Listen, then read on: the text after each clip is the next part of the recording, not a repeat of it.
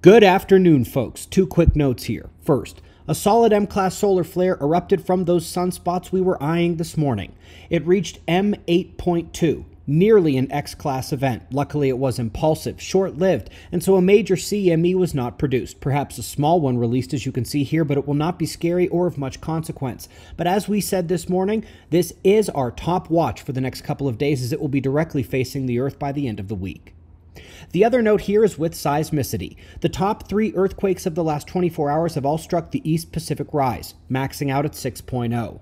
While it is not an every time thing, Nearly 70% of the major earthquakes on the west coast of South America, that'd be Chile, Argentina, Peru, and Ecuador, are preceded by upticks in activity on this oceanic fault. So we should have a bit of awareness for enhanced seismicity there the next 48 hours or so.